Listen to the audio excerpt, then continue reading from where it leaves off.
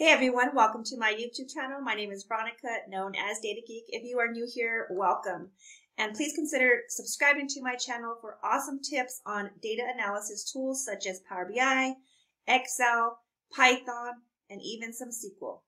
Let me ask you, are you tired of messy Excel sheets? Well, I'm going to show you how to use a pandas library in Python so that you can make your data analysis faster, cleaner, and way more powerful. And this can be done with just a few lines of code. So on the screen here is your data set. This is sales data. I have this uploaded into my Jupyter Notebook.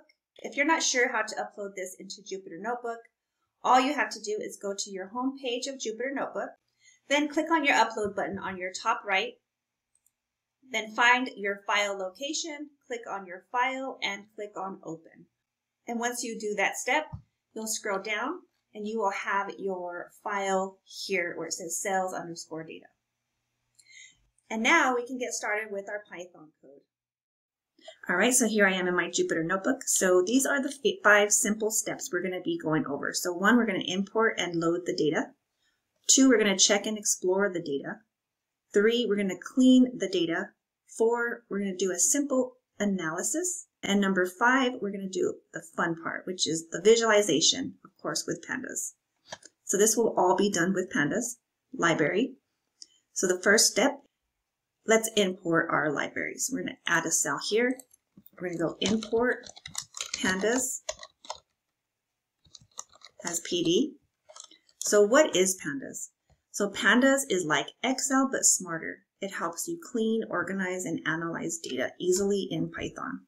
Next, we're going to load the data set. So df, this is what we're going to call it through the whole analysis. So df equals, then we pull in this data set. So pd.read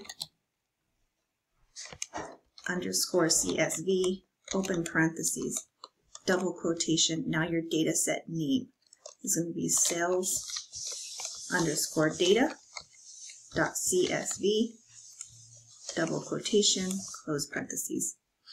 So whatever your data set name is, you replace that here. Now that we're going to read our data set, we want to view the first few columns of our data set. So to do that, you do df.head, open and close parentheses. And this will show you the first five rows of your data set. And here we go. So we have a date column, region, product, category, units sold, unit price, total sales, and profit margin. Here are the first five rows of the data. So if you want to see more rows, you simply click in this open and close parentheses and put in the number of rows you want to see. For example, we will put 15. And then I will run that. Now we're seeing the first 15 rows of our data set. And it's good to kind of like take a look at your data, make sure you don't have any null values, any misspellings. That way you would know to correct those. So going to step number two, and add a cell here. Now we're going to check and explore the data. And to do that, simple, easy code is df.info, open and close parentheses. Now again, why did I put df? Because that's what we called our data set up here when we're reading this data file. So it's going to pull this and look at the info of that data set. So I will go ahead and run this. And here's the information of our data set. So now you can see that here we have the number of columns, which is zero for date, one column for region, two products. So these are our column names. Here it shows if it's a non-null count. So it shows non-null. And then also each row has a data type. So it gives you the data types. It also gives you memory usage. Here on top, it has range index, 200 entries. 0 to 199. And then data columns, total of 8 columns. As you can see, that's correct because it has 0 to 7, 0 counting as the first column to 7. So basically this df.info method in pandas provides a consist summary of data frame, including the index type, data types, column data types, and non-null values, and of course the memory usage. And now we will add another cell here so what we're going to do is we're going to go ahead and do a df dot describe, open and close parentheses, and run this. So this is another step to check and explore the data. So this gives us quick stats like average and totals. And as you can see, it's for the numeric values. The unit sold column, unit price column, total sales, profit margin. We have the mean, standard deviation, the min, the quartiles, 25%, 50%, 75%, and max for each of those columns. Now we will see the shape of our data set. So it's df dot shape. And you don't have to use the open and close parentheses. And let's run this. And now we have our shape, which is 200 rows and 8 columns. Also, another simple step, if you want to just see the column names, you just put df dot columns, no open and close parentheses, just straight this way, df dot columns, and run. Now you have your index, which is all of your data column names. This is how to check and explore the data with pandas. Mm-hmm. Now next, we're going to go ahead and clean the data set. Well, suppose your data set is dirty. We're going to go ahead and look at some code on how to clean your data set. So we're going to do df equals df dot drop NAs. So say you have any NAs, this is the code you would use. So go ahead and run that. And it ran successfully. As you can see, there's a number here. No errors. So I'll add another one here. So next, say I want to fix columns by removing spaces.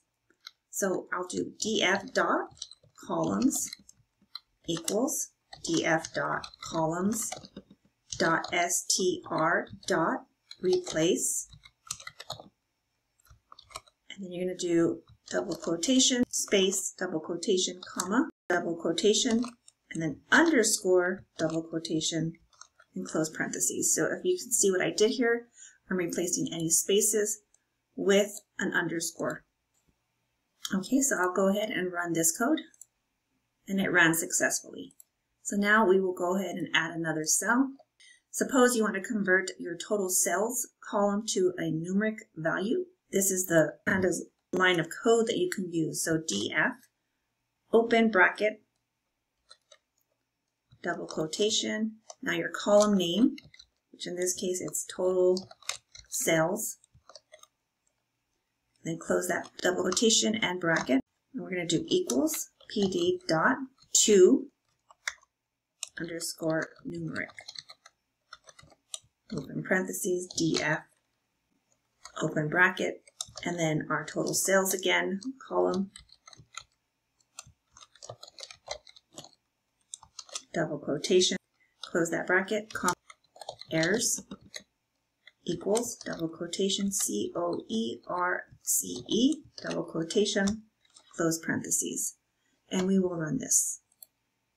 So now we have our total sales converted into a number. So this way, whenever we go ahead and visualize this data in a visual, it won't give us an error. So I'm going to add another cell here and we're going to step number four. We're going to do a simple analysis. So we're going to do total sales by region. So we're going to do a sales underscore by underscore region. And we want to equal this to our df and then we're going to group by. So we're going to use the group by function.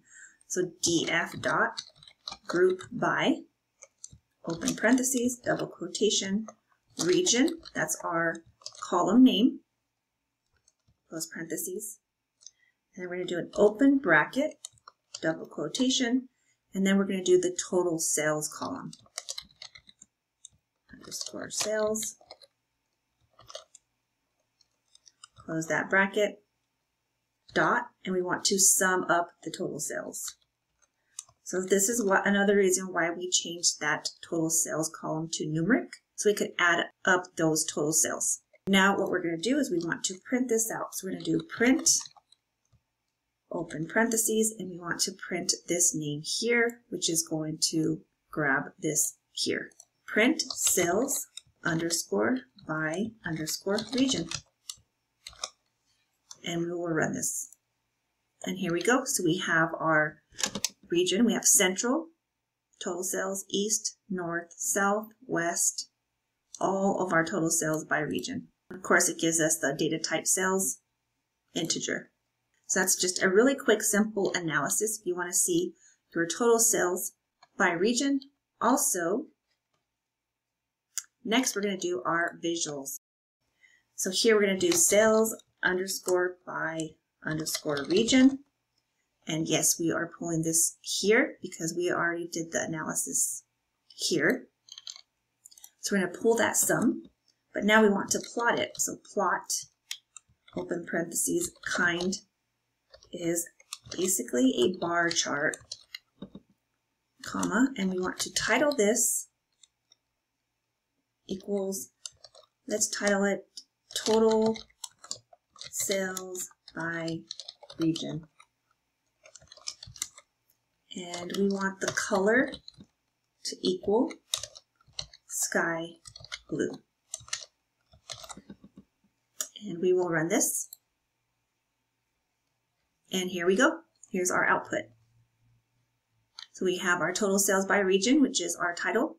We have our bar chart, and it's sky blue. And we have it broken down by region. There's central, east, north, south, and west. It Looks like west had the highest sales, but if we scroll up here, that is right because west has a higher number of sales. So you just learned how to load, clean, and analyze real data like a pro. So if you want to go deeper, watch more data cleaning tutorials, I have linked them in the description below. Please like this video, subscribe, and thank you so much for watching. I will see you on the next video.